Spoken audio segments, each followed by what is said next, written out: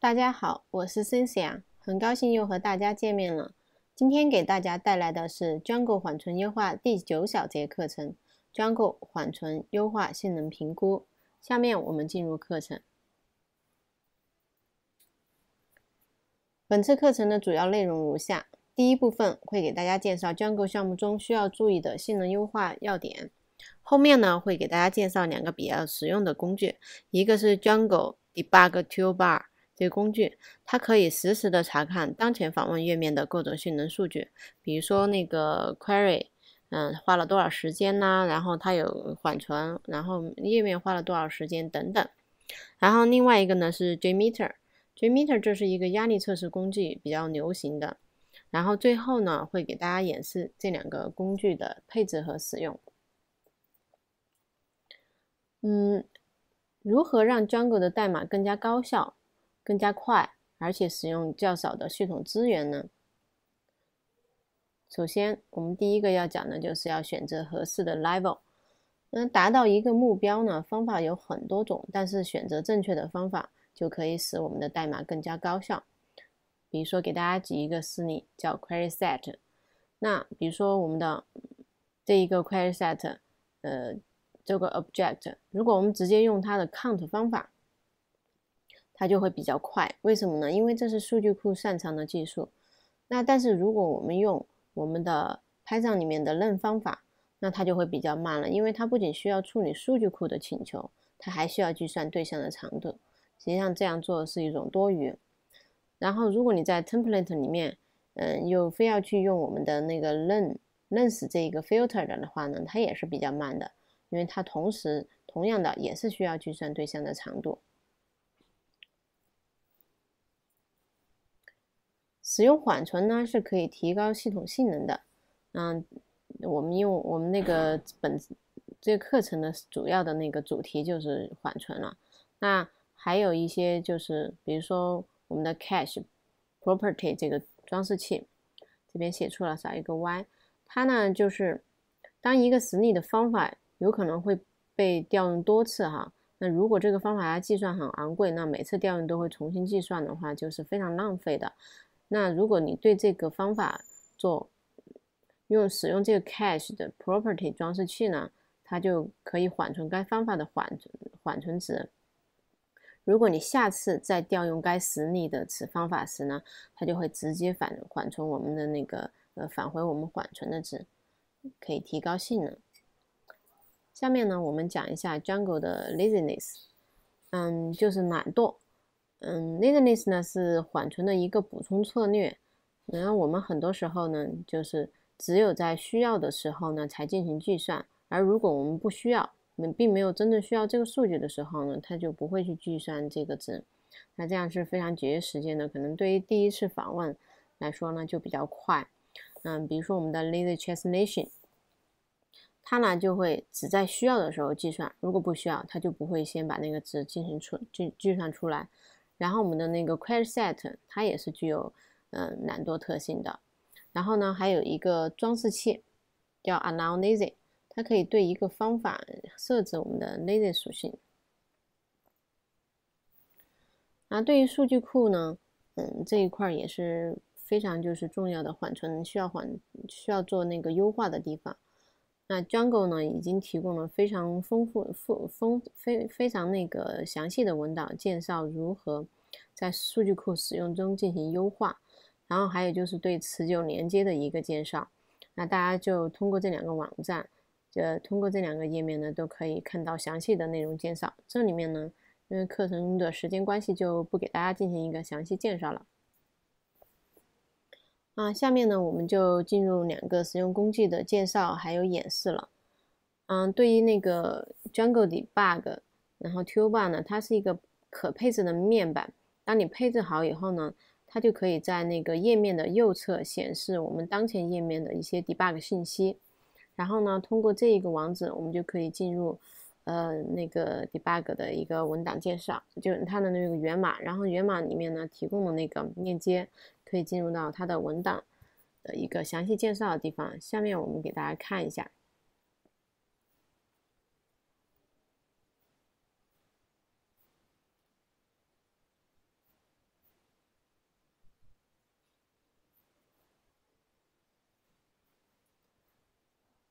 这个呢就是这里，实际上就刚刚我在网站上提供的那个 GitHub 的那个网址，那大家就可以通过这个进来。然后呢，我们就进入到它这边提供的这个文档的地方，Document including installation and configuration instruction，啊，就是介绍我们如何安装啊，如何配置的一个地方。首先呢，就是要把我们的那个 Jungle Debug Toolbar 安装，安装好了以后，它的一个，然后就需要嗯设置了。然后在设置中呢，它首先是在 Install 的 APP 这个。嗯，这个 这个里面呢，要加入呃静态含静态文件的一个这个嗯 A P P 的安装，然后呢，还有就是 debug tobar 然后呢，安装好了以后呢，就要设置呃让 Tuba 不要去嗯就是不要不要去自动的那个设置我们的那个 Settings，然后还需要在我们的那个 URL conf 里面配置 debug 的那个 URL，那只需要加入这些字段就可以了。然后呢，还需要配置我们的 made while，嗯的那个就是 debug 的 made while，那就需要在 made while class 里面加入这一个 made while。然后呢，还要嗯设置这个 internal IP，嗯，这个 internal IP 呢就是。嗯，它只会就是这个 debug 信息啊，它只会在你就是这个 install 呃 internal IP 这这个里面的存在的地址呢，它会才会显示我们的 debug 信息。那下面就是 config，这个呢就你就可以指定你的那个需要嗯在那个 toolbar 里面展示的一些信息了，然后把这个拷到你的配置文件即可。那下面下面呢，我们来看一下我的那个配置文件。首先呢，还是进入到我们的项目，然后呢，就可以编辑配置文文件。嗯，当然前提是要先把那个嗯 Jungle Debug Toolbar 这一个插件给安装上，然后呢，就进入 Settings 文件里面配置。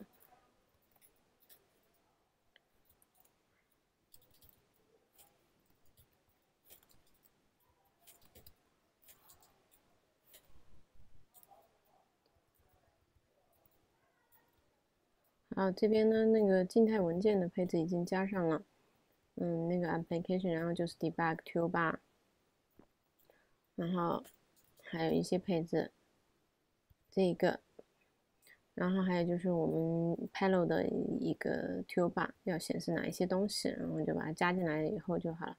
然后呢，还有就是 install 的 IPS，那还有一个 middle while 是吧？这边。把那个 toolbar 的 middle while 加在这儿，那就可以了。那加好以后呢，我当我们的服务启动以后，我们就可以访问了。访问之前呢，我们还需要设置让我当前这个机器的 IP 可以访问那个 debug，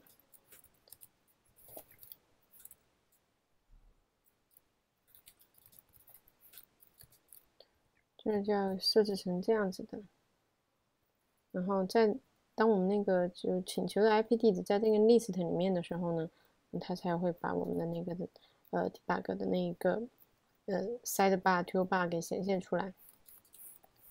好，然后这就是访问的一个效果。那因为嗯这个浏览器的那个支持不太好，好像它已经它展示不出来。但如果你是用的 Ubuntu 的话呢，它那个 Chrome 展示就是完全没有问题的。这里就暂时给大家展示一个效果。下面我们进入 JMeter 这个压力测试工具的介绍。啊，JMeter 呢，它是一个纯 Java 写的压力测试工具，啊，可以对我们的网站进行一个呃压力测试，测出网站的吞吐量。嗯，那我们现在进入 JMeter 的官网看一下，这就是它的那个官网的一些资料。当然呢。如果要使用这个工具的话呢，就可以通过这个地方来详细看到它的一些呃使用配置的一些要求。今天呢，我就给大家做一个简单的演示。这个就是我已经配置好的一个 JMeter 的嗯一个 test plan。那首先呢，你需要添加一个 thread group。嗯，它一个 Strike to Group 呢，就代表你的一个嗯测试计划。然后这个测试计划呢，里面呢，你就可以添加很多的那个呃这个 Example，这个 Example 就是我们这边因为是测网站，就是 HTTP 请求。那实际上它还支持其他的一些嗯呃很多的那种东西。你看一下，嗯呃 J JDBC 啊等等的哈。然后呢，我们添加好这个 example 以后，比如说我测我的 dashboard，嗯，那我就把 dashboard 的信息填好，然后这是 IP 地址，然后这边呢是 path，path 就是后面的那个路径，嗯这是主页的一个访问的一个 request。那如果对于是另外一个 dashboard，我就要需要添加这个才可以，呃，对第二个那个页面进行一个压力测试。然后在 group 里面呢，有几个参数要设置。第一个就是 number of threads，是代表其实就是你这个，嗯，我们这一个呃测试计划里面，你这个要取模拟多少个用户，那我这边就是一百个用户。然后第二个参数呢，嗯，是代表就是你这几这几个用户的线程在多少时间以内发完。比如说我现在是零的话呢，那就代表它一次性全部发完一百个请求。那如果我是有一百，那它代表一百秒以内，它会分别把这几个 threads 发完，它间隔就是一秒发一个。然后这个 loop 呢，代表我发完一轮以后，我要不要 loop？那如果是点 forever 的话，那它就会一直循环。那你也可以指定它，嗯，不 forever，那比如说只循环两次什么什么的这样子。好，嗯，然后呢，嗯，我们另外的还有一个。嗯这个我可以设小一点，好，我们来保存一下。然后另外弄好了以后呢，那我们还要就是添加一个这个 timer，嗯，这个 timer 是我们嗯吞吐量的一个 timer，它的作用是什么呢？就是控制你的目标吞吐量是多少呢？它会根据你这个目标吞吐量来，呃呃设置我们就是到就是那个发那些请求的一个。呃，多少时间开始就是之后呢？然后就开始启动下一轮啊什么的。比如说我这个目标吞吐量设的是一千，这边是每分钟哈，每分钟有一千个请求的话，然后嗯这边的那个它的那个就是你计算吞吐量，比如说是 all active threads，就是针对当前所有的那些 threads。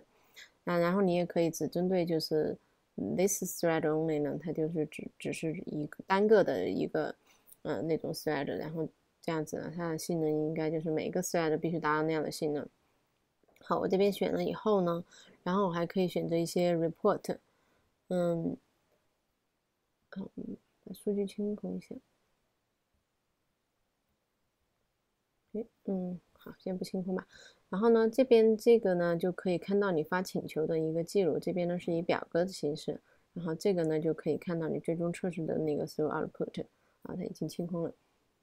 嗯，好，那现在呢，就给大家嗯进行一个点这个，我们就可以 start。start 以后，你看到这边就已经开始发请求了，然后这些请求都是成功的，status 都是打了勾的。然后呢，我们再进入这个地方，它也是一样的，然后你可以点开它每个请求的详细信息，你就可以看到。然后如果它有问题呢，它就会打叉。然后这边就可以看到我们的一个吞吐量在急速的上升。那它就会看，那如果说我们期望达到一千每分钟的那个吞吐量，然后他就会，嗯，根据这个策略发送我们的请求，然后看能不能达到。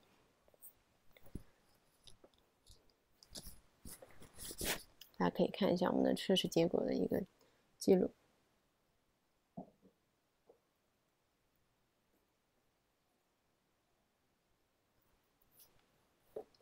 那我们。设置的那个吞吐量目标是一千每分钟呢，算下来就应该是十六个每秒哈，十六每秒。现在显然我们这个压力应该可能是对于我们来说那个网站来说是过度了，它现在就保持在了九左右，嗯，每秒钟可以处理九个连接，这就是我们的性能的一个测试结果了。对这个这个工具呢，对于就是你的那个项目性能测试是非常，它的那个评估呢是非常重，嗯重要的，也是很有用的。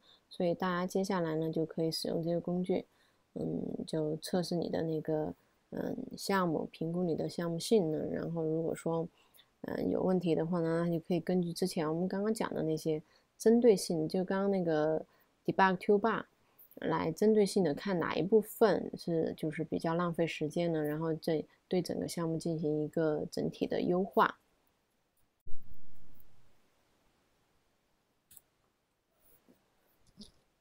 这个是那个 Django 性能与优化的一个嗯参考资料的官网，大家可以上去去对那些内容进行一个详细的阅读。好啦，关于 Django 缓存优化的课程，我们全部小节的内容都已经讲完了。感谢大家对老师的支持，希望下次还有机会给大家分享技术和知识。再见。